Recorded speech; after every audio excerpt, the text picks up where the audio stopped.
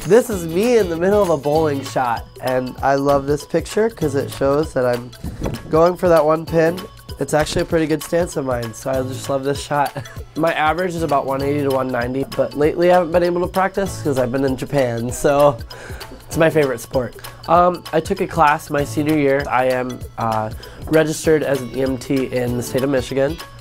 So, and I'm also working on becoming a paramedic as well. So, like, if I wasn't a young American right now, I would be working on an ambulance, um, just like trying to save lives, well, saving lives and like serving the public. So, it's it's one of my favorite accomplishments, other than they being a young American.